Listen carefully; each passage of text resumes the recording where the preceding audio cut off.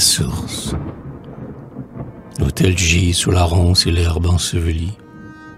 la source sans nom qui goutte à goutte tombe, de son plaintif emplit la solitaire combe. C'est la nymphe qui pleure un éternel oubli. L'inutile miroir que ne rit d'aucun pli, à peine est effleuré par un vol de colombes. Et la lune, parfois, qui du ciel noir surplombe, seule, reflète encore un visage pâli.